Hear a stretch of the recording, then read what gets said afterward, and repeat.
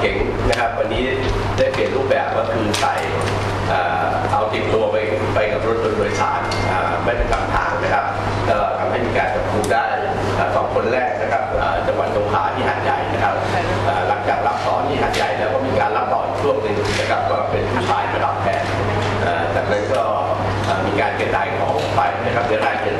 ต่างๆก็จะ มีในส่วนของภูธรจังหวัดชุมพรและสืบสวนภูธรภาคแปดแล้วก็มีตำรวจตระเวนชายแดนนะครับเมื่อวันที่ 15นะครับประมาณตีสามนะครับปรากฏว่ามีรถยนต์โดยสารนะครับเป็นรถทัวร์ปรับอากาศเข้ามาที่บริเวณที่ด่านตรวจขณะที่เจ้าที่บัตรหน้าที่นะครับ ก็เชิญตรวจนะครับ ก็จากการที่ตรวจสอบเนี่ยปรากฏว่ามีผู้ต้องใส่บนรถยนต์นะครับ จากการตรวจของเจ้าที่ก็พบเห็นว่าตัวของผู้หา ที่ที่สองเนี่ยนะครับมียาที่อยู่บนรถในกระเป๋าที่วางอยู่ข้างเนี่ยนะครับ ประมาณสามมัดหกพัน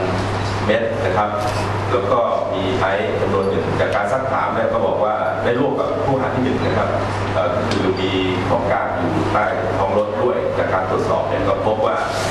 มียาเสพติดอยู่เป็นยาบ้าเนี่ยสามแปด มัดนะครับก็คือเจ็ดหมื่นหกพันเม็ดของไอซ์สองกิโลแล้วก็มีลักษณะของแพ็กเกจส่วนหนึ่งคือ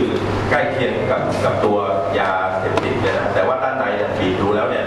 มันจะจะนิ่มนะครับ ก็คือลักษณะข้างในก็คือจะเป็นลักษณะคล้ายๆเม็ดข้าวสารนะฮะอีกประมาณ 15 รูปด้วยกันนะครับแต่ก็ยินยอมให้ความร่วมมือในการที่จะขยายผล เราก็นำผู้หาที่หนึ่งสองนะครับไปขยายผลที่ที่หาดใหญ่ นะครับมาคนเดียวแล้วก็รับที่ของทั้งหมดนะครับเอ่อผู้หาก็ที่ห้าให้ความร่วมมือโดยดีนะครับก็ขยายผลจับผู้หาที่หกนะครับผู้หาที่หกเนี่ยมารับแค่แค่จำนวนสี่มัดก็คือ8,000เมตรนะครับ2กิโลนะครับซึ่งทางเอ่อกรมการยาเสพติดก็จะต้องสืบสวนติดตามก็จะนำไปสู่การขยายผลต่อไปครับ คือประเด็นแรกรถทัวร์ไม่ประจำทางเนี่ยนะครับคือประสานกับบขสขอสนับสนุนสุนัขตำรวจเป็นไปแต่ว่าประเด็นรถโดยสารไม่ประจำทางนะครับบรรจุในหีบห่อนะครับอ่าแทนนะครับแล้วก็ลักษณะตราเนี่ยเหมือนกันคือตรามือนะครับไอ้ข้าวสารเนี่ยมันมาจากโรงงานพันโทยี่เซหรือเปล่านะครับคือตรามือเนี่ยเป็นของเครือข่ายพันโทยี่เซนะครับ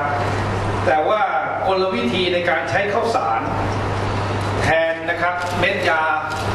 มัดหนึ่งก็ประมาณ 2 2,000เม็ดครับน้ำหนักเนี่ยเท่าที่ผมจับเนี่ยพอๆกัน แล้วก็ตราเดียวกันนะครับ คิดว่าไม่รู้ว่าทำมาจากโรงงานหรือเปล่าหรือว่าจะมีคนบางกลุ่มนะครับ หัวใสหรือว่าเป็นเพราะยาบ้าในขณะนี้ขาดแคลนหนักนะครับ ก็เลยเอาข้าวสารเนี่ยมาบรรจุแทนแล้วก็ปั๊มตาเหมือนกันเลยนะครับ นี่นะฮะนี่นะฮะอันนี้นี่ของจริงตราอันนี้เป็นหีบห่อข้าวสารนะครับข้าวสารนะฮะแต่ว่าลักษณะของกระดาษชุบเทียนข้างนอกเนี่ยเหมือนกันคล้ายกัน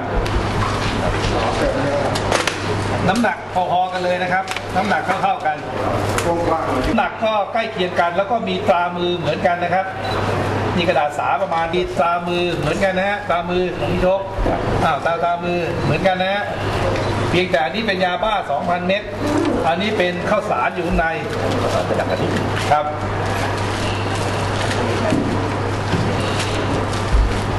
ก็จะเป็นข้าวสารนะฮะก็ผู้รับยาก็เปิดมาเป็นข้าวสารก็คงจะมีการ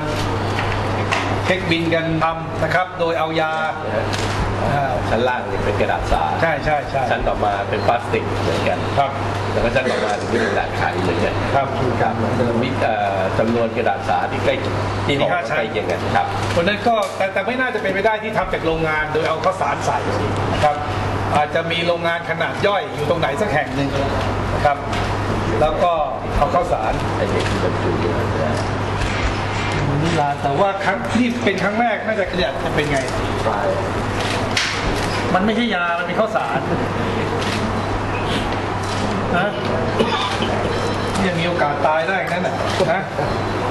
ไม่รู้เหมือนกันนะไม่รู้อะไม่รู้ผู้ใหญ่ก็ไม่รู้ว่ามาให้ส่งสีมัดก็สีไม่ไม่ไม่เคยคิดเลยใช่ไหมว่าข้างในจะเป็นข้าวสารไม่รู้ใครจะรับไม้แรกก็ไม่รู้ไม่กล้าหรอกเออไม่ใครกล้าเปิดอยู่แล้วสงสารเยอะเดียวผู้ต้องหาสองคนแรกที่เขารับยาบ้าครับแต่ว่าเออล็นี้เจอข้าวสารตายกันเป็นเบื่อไม่มีใครแต่มันจะไม่ตายครับเจอข้าวสารอันไหนครับเออแล้วกาโอเคแล้วครับอ่าไปเสร็จแล้วนะดหัหลังออกมาเร็วๆเลย